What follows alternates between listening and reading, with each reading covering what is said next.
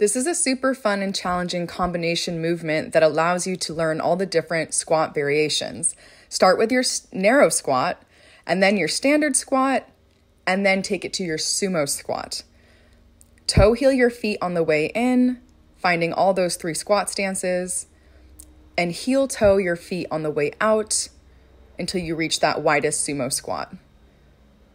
You can also use a dumbbell instead of a barbell for this exercise. Make sure that you keep your core tight and your chest up.